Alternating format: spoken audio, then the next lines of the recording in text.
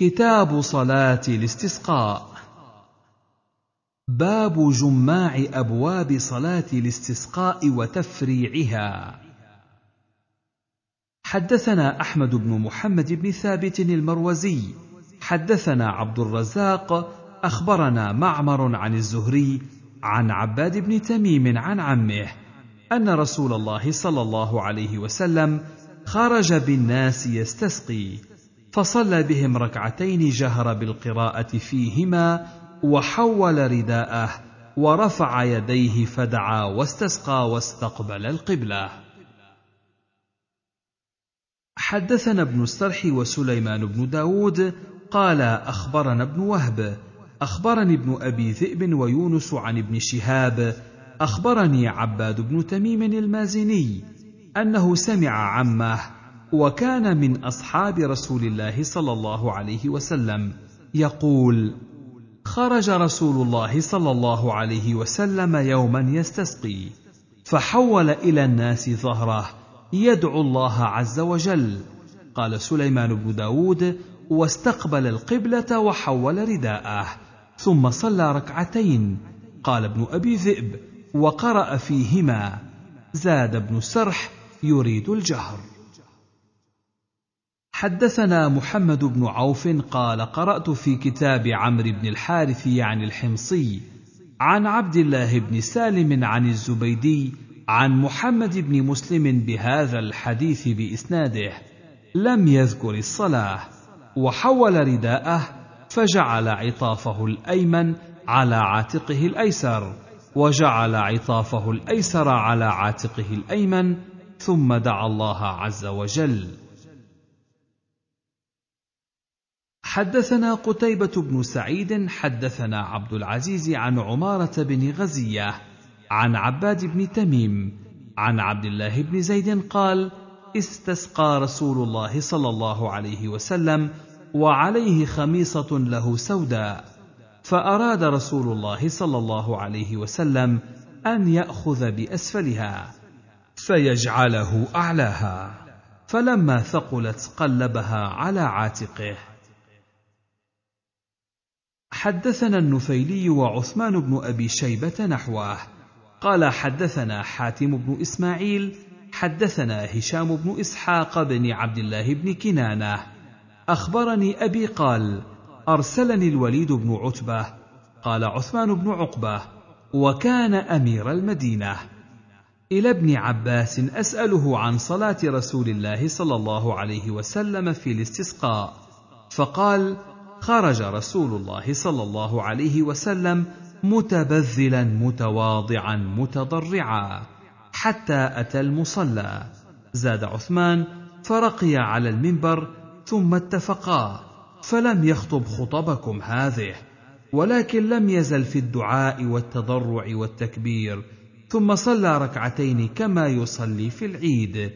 قال أبو داود والإخبار للنفيلي والصواب بن عتبة. باب في أي وقت يحول رداءه إذا استسقى. حدثنا عبد الله بن مسلمة حدثنا سليمان يعني بن بلال عن يحيى عن أبي بكر بن محمد عن عباد بن تميم أن عبد الله بن زيد أخبره أن رسول الله صلى الله عليه وسلم خرج إلى المصلى يستسقي وأنه لما أراد أن يدعو استقبل القبلة ثم حول رداءه. حدثنا القعنبي عن مالك عن عبد الله بن أبي بكر أنه سمع عباد بن تميم يقول سمعت عبد الله بن زيد المازني يقول خرج رسول الله صلى الله عليه وسلم إلى المصلى فاستسقى وحول رداءه حين استقبل القبلة. باب رفع اليدين في الاستسقاء. حدثنا محمد بن سلمة المرادي أخبرنا ابن وهب عن حيوة وعمر بن مالك عن ابن الهاد عن محمد بن إبراهيم عن عمير مولى بني ابي اللحم أنه رأى النبي صلى الله عليه وسلم يستسقي عند أحجار الزيت قريبا من الزوراء قائما يدعو يستسقي رافعا يديه قبل وجهه لا يجاوز بهما رأسه. حدثنا ابن أبي خلف حدثنا محمد بن عبيد حدثنا مسعر عن يزيد الفقير عن جابر بن عبد الله قال أتت النبي صلى الله عليه وسلم بواكي فقال اللهم اسقنا غيثا مغيثا مريئا مريعا نافعا غير ضار عاجلا غير آجل. قال فأطبقت عليهم السماء. حدثنا نصر بن علي أخبرنا يزيد بن زريع. حدثنا سعيد عن قتادة عن أنس أن النبي صلى الله عليه وسلم كان لا يرفع يديه في شيء من الدعاء إلا في الاستسقاء فإنه كان يرفع يديه حتى يرى بياض إبطيه. حدثنا الحسن بن محمد الزعفراني حدثنا عفان حدثنا حماد أخبرنا ثابت عن أنس أن النبي صلى الله عليه وسلم كان يستسقي هكذا. يعني ومد يديه وجعل بطونهما مما يلي الأرض حتى رأيت بياض إبطيه. حدثنا مسلم بن إبراهيم حدثنا شعبة عن عبد ربه بن سعيد عن محمد بن إبراهيم. أخبرني من رأى النبي صلى الله عليه وسلم يدعو عند أحجار الزيت باسطا كفيه. حدثنا هارون بن سعيد الأيلي حدثنا خالد بن نزار قال حدثني القاسم بن مبرور عن يونس عن هشام بن عروة عن أبيه عن عائشة قالت شكى الناس إلى رسول الله صلى الله عليه وسلم قحوط المطر فأمر بمنبر فوضع له في المصلى ووعد الناس يوما يخرجون فيه. قالت عائشة فخرج رسول الله صلى الله عليه وسلم حين بدا حاجب الشمس فقعد على المنبر فكبر وحمد الله عز وجل ثم قال إنكم شكوتم جدب دياركم واستيخار المطر عن إبان زمانه عنكم وقد أمركم الله عز وجل أن تدعوه ووعدكم أن يستجيب لكم. ثم قال الحمد لله رب العالمين. الرحمن الرحيم ملك يوم الدين. لا إله إلا الله يفعل ما يريد. اللهم أنت الله لا إله إلا أنت الغني. ونحن الفقراء. أنزل علينا الغيث واجعل ما أنزلت لنا قوة وبلاغا إلى حين. ثم رفع يديه فلم يزل في الرفع حتى بدا بياض إبطيه.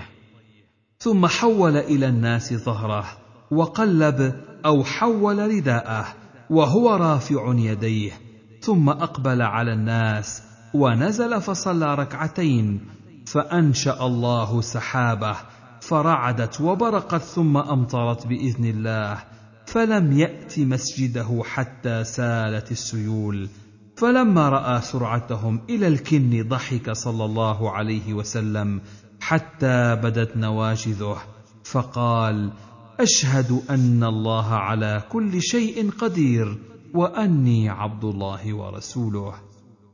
قال أبو داود هذا حديث غريب إسناده جيد.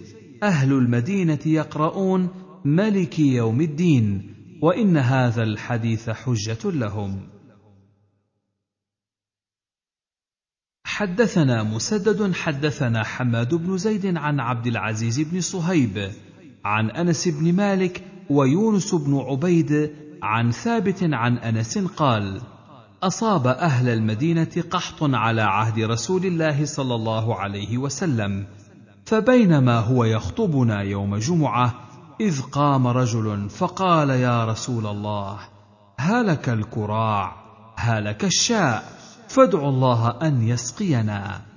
فمد يديه ودعا قال أنس وإن السماء لمثل الزجاجة فهاجت ريح. ثم أنشأت سحابة ثم اجتمعت ثم أرسلت السماء عزاليها. فخرجنا نخوض الماء حتى أتينا منازلنا فلم يزل المطر إلى الجمعة الأخرى. فقام إليه ذلك الرجل أو غيره فقال يا رسول الله تهدمت البيوت فادعوا الله أن يحبسه. فتبسم رسول الله صلى الله عليه وسلم ثم قال حوالينا ولا علينا. فنظرت إلى السحاب يتصدع حول المدينة كأنه إكليل. حدثنا عيسى بن حماد أخبرنا الليث عن سعيد المقبوري عن شريك بن عبد الله بن أبي نمر عن أنس أنه سمعه يقول فذكر نحو حديث عبد العزيز قال فرفع رسول الله صلى الله عليه وسلم يديه بحذاء وجهه فقال اللهم اسقنا وساق نحوه حدثنا عبد الله بن مسلمة عن مالك عن يحيى بن سعيد عن عمرو بن شعيب أن رسول الله صلى الله عليه وسلم حا وحدثنا سهل بن صالح حدثنا علي بن قادم حدثنا سفيان عن يحيى بن سعيد عن عمرو بن شعيب عن أبيه عن جده قال كان رسول الله صلى الله عليه وسلم إذا استسقى قال اللهم اسق عبادك وبهائمك وانشر رحمتك واحي بلدك الميت هذا لفظ حديث مالك. باب صلاة الكسوف. حدثنا عثمان بن أبي شيبة حدثنا إسماعيل بن علية عن ابن جريج عن عطاء عن عبيد بن عمير. أخبرني من أصدق وظننت أنه يريد عائشة. قالت كسفت الشمس على عهد النبي صلى الله عليه وسلم فقام النبي صلى الله عليه وسلم قياما شديدا. يقوم بالناس ثم يركع ثم يقوم ثم يركع ثم يقوم ثم يركع. فركع ركعتين في كل ركعة ثلاث ركعات. يركع الثالثة ثم يسجد. حتى إن رجالا يومئذ ليغشى عليهم مما قام بهم. حتى إن سجال الماء لينصب عليهم. يقول إذا ركع الله أكبر وإذا رفع سمع الله لمن حمده حتى تجلت الشمس ثم قال إن الشمس والقمر لا ينكسفان لموت أحد ولا لحياته ولكنهما آيتان من آيات الله عز وجل يخوف بهما عباده فإذا كسفا فافزعوا إلى الصلاة باب من قال أربع ركعات. حدثنا أحمد بن حنبل حدثنا يحيى عن عبد الملك حدثني عطاء عن جابر بن عبد الله قال كسفت الشمس على عهد رسول الله صلى الله عليه وسلم وكان ذلك اليوم الذي مات فيه إبراهيم ابن رسول الله صلى الله عليه وسلم. فقال الناس إنما كسفت لموت إبراهيم فقام النبي صلى الله عليه وسلم فصلى بالناس ست ركعات في أربع سجدات كبر ثم قرأ فأطال القراءة ثم ركع نحوا مما قام ثم رفع رأسه فقرأ دون القراءة الأولى ثم ركع نحوا مما قام ثم رفع رأسه فقرأ القراءة الثالثة دون القراءة الثانية. ثم ركع نحوا مما قام ثم رفع رأسه فانحدر للسجود فسجد سجدتين ثم قام فركع ثلاث ركعات قبل أن يسجد. ليس فيها ركعة إلا التي قبلها أطول من التي بعدها إلا أن ركوعه نحو من قيامه. قال ثم تأخر في صلاته فتأخرت الصفوف معه ثم تقدم فقام في مقامه وتقدمت الصفوف فقضى الصلاة وقد طلعت الشمس فقال يا أيها الناس إن الشمس والقمر آيتان من آيات الله عز وجل لا ينكسفان لموت بشر فإذا رأيتم شيئا من ذلك فصلوا حتى تنجلي وساق بقية الحديث. حدثنا مؤمل بن هشام حدثنا إسماعيل عن هشام حدثنا أبو الزبير عن جابر قال كسفت الشمس على عهد رسول الله صلى الله عليه وسلم في يوم شديد الحر فصلى رسول الله صلى الله عليه وسلم بأصحابه فأطال القيام حتى جعلوا يخرون ثم ركع فأطال ثم رفع فأطال ثم ركع فأطال ثم رفع فأطال ثم سجد سجدتين ثم قام فصنع نحوا من ذلك. فكان أربع ركعات وأربع سجدات وساق الحديث. حدثنا ابن السرح حدثنا ابن وهب وحدثنا محمد بن سلمة المرادي. حدثنا ابن وهب عن يونس عن ابن شهاب أخبرني عروة بن الزبير عن عائشة زوج النبي صلى الله عليه وسلم قالت خسفت الشمس في حياة رسول الله صلى الله عليه وسلم فخرج رسول الله صلى الله عليه وسلم إلى المسجد فقام فكبر وصف الناس وراءه فاقترأ رسول الله صلى الله عليه وسلم قراءة طويلة. ثم كبر فركع ركوعا طويلا ثم رفع رأسه فقال سمع الله لمن حمده ربنا ولك الحمد. ثم قام فاقترأ قراءة طويلة هي أدنى من القراءة الأولى. ثم كبر فركع ركوعا طويلا هو أدنى من الركوع الأول. ثم قال سمع الله لمن حمده ربنا ولك الحمد. ثم فعل في الركعة الأخرى مثل ذلك فاستكمل أربع ركعات وأربع سجدات وانجلت الشمس قبل أن ينصرف. حدثنا أحمد بن صالح حدثنا عن بسه حدثنا يونس عن ابن شهاب قال كان كثير بن عباس يحدث أن عبد الله بن عباس كان يحدث أن رسول الله صلى الله عليه وسلم صلى في كسوف الشمس مثل حديث عروة عن عائشة عن رسول الله صلى الله عليه وسلم أنه صلى ركعتين في كل ركعة ركعتين. حدثنا أحمد بن الفرات بن خالد أبو مسعود الرازي. أخبرنا محمد بن عبد الله بن أبي جعفر الرازي عن أبيه عن أبي جعفر الرازي.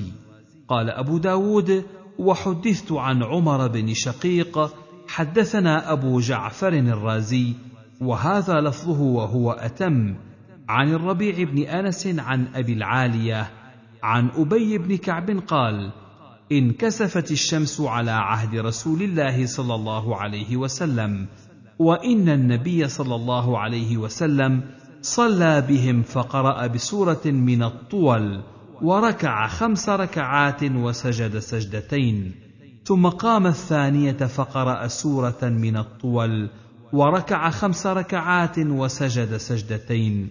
ثم جلس كما هو مستقبل القبلة يدعو حتى انجلى كسوفها. حدثنا مسدد حدثنا يحيى عن سفيان حدثنا حبيب بن أبي ثابت عن طاووس عن ابن عباس عن النبي صلى الله عليه وسلم أنه صلى في كسوف الشمس فقرأ ثم ركع ثم قرأ ثم ركع ثم قرأ ثم ركع ثم قرأ ثم ركع ثم سجد والأخرى مثلها. حدثنا أحمد بن يونس حدثنا زهير حدثنا الأسود بن قيس حدثني ثعلبة بن عباد العبدي من أهل البصرة أنه شهد خطبة يوما لسمرة بن جندب قال قال سمرة بينما أنا وغلام من الأنصار نرمي غرضين لنا حتى إذا كانت الشمس قيد رمحين أو ثلاثة في عين الناظر من الأفق اسودت حتى آضت كأنها تنومة. فقال أحدنا لصاحبه انطلق بنا إلى المسجد فوالله ليحدثن شأن هذه الشمس لرسول الله صلى الله عليه وسلم في أمته حدثا. قال فدفعنا فإذا هو بارز.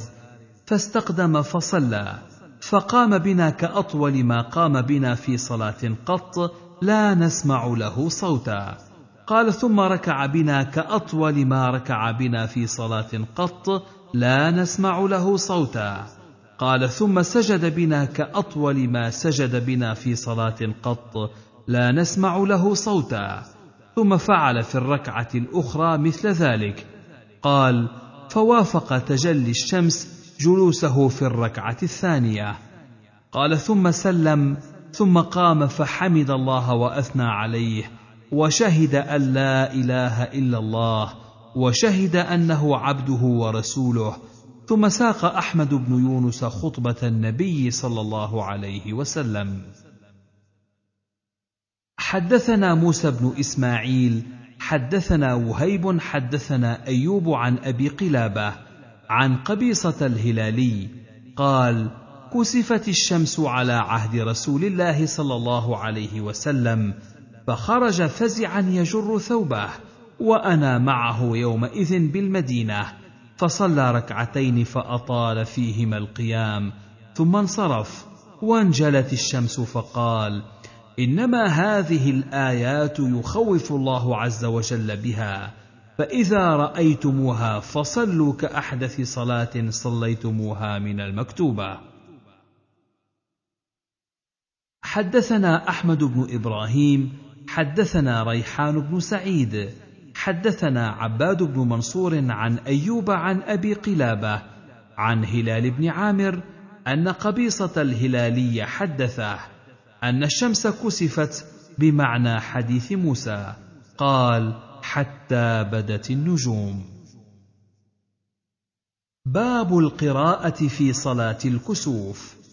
حدثنا عبيد الله بن سعد حدثنا عمي حدثنا أبي عن محمد بن إسحاق حدثني هشام بن عروة وعبد الله بن أبي سلمة عن سليمان بن يسار كلهم قد حدثني عن عروة عن عائشة قالت كسفت الشمس على عهد رسول الله صلى الله عليه وسلم فخرج رسول الله صلى الله عليه وسلم فصلى بالناس فقام فحذرت قراءته فرأيت أنه قرأ بسورة البقرة وساق الحديث ثم سجد سجدتين ثم قام فأطال القراءة فحذرت قراءته فرأيت أنه قرأ بسورة آل عمران.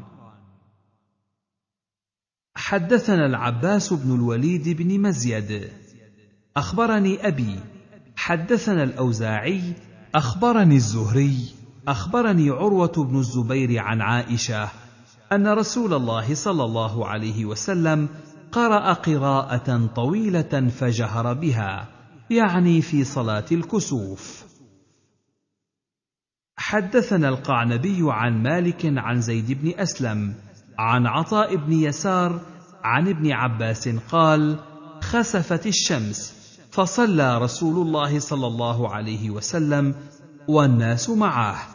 فقام قياما طويلا بنحو من سورة البقرة ثم ركع وساق الحديث. باب ينادي فيها بالصلاة.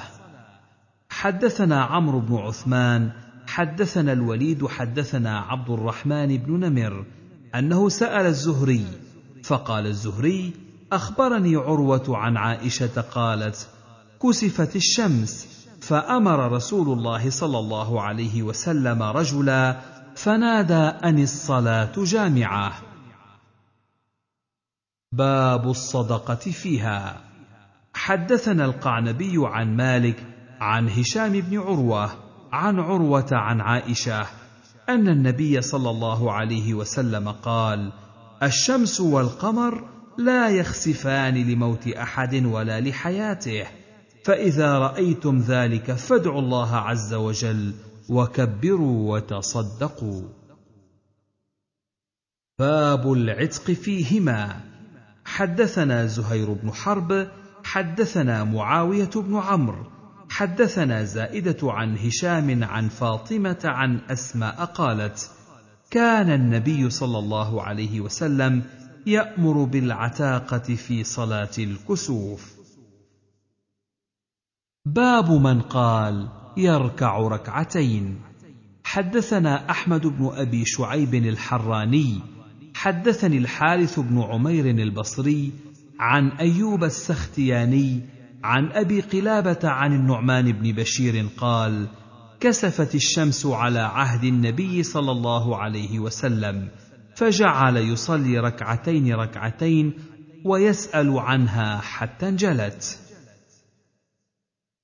حدثنا موسى بن إسماعيل حدثنا حماد عن عطاء بن السائب عن أبيه عن عبد الله بن عمرو قال انكسفت الشمس على عهد رسول الله صلى الله عليه وسلم فقام رسول الله صلى الله عليه وسلم لم يكد يركع ثم ركع فلم يكد يرفع ثم رفع فلم يكد يسجد ثم سجد فلم يكد يرفع. ثم رفع فلم يكد يسجد. ثم سجد فلم يكد يرفع. ثم رفع. وفعل في الركعة الأخرى مثل ذلك. ثم نفخ في آخر سجوده فقال أف أف. ثم قال رب ألم تعدني ألا تعذبهم وأنا فيهم؟ ألم تعدني ألا تعذبهم وهم يستغفرون؟ ففرغ رسول الله صلى الله عليه وسلم من صلاته وقد أمحصت الشمس وساق الحديث. حدثنا مسدد حدثنا بشر بن المفضل حدثنا الجريري عن حيان بن عمير عن عبد الرحمن بن سمرة قال بينما أنا أترمى بأسهم في حياة رسول الله صلى الله عليه وسلم إذ كسفت الشمس فنبذتهن وقلت لأنظرن ما أحدث لرسول الله صلى الله عليه وسلم كسوف الشمس اليوم. فانتهيت إليه وهو رافع يديه يسبح ويحمد ويهلل ويدعو حتى حسر عن الشمس فقرأ بسورتين وركع ركعتين. باب الصلاة عند الظلمة ونحوها. حدثنا محمد بن عمرو بن جبلة بن أبي رواد. حدثنا حرمي بن عمارة عن عبيد الله بن النضر. حدثني أبي قال كانت ظلمة على عهد أنس بن مالك. قال فأتيت أنسا فقلت يا أبا حمزة هل كان يصيبكم مثل هذا على عهد رسول الله صلى الله عليه وسلم؟ قال معاذ الله إن كانت الريح لتشتد فنبادر المسجد مخافة القيامة. باب السجود عند الآيات. حدثنا محمد بن عثمان بن أبي صفوان الثقفي. حدثنا يحيى بن كثير.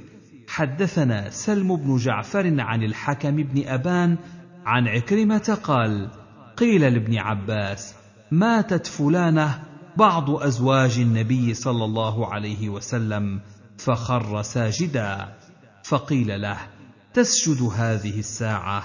فقال قال رسول الله صلى الله عليه وسلم إذا رأيتم آية فاسجدوا.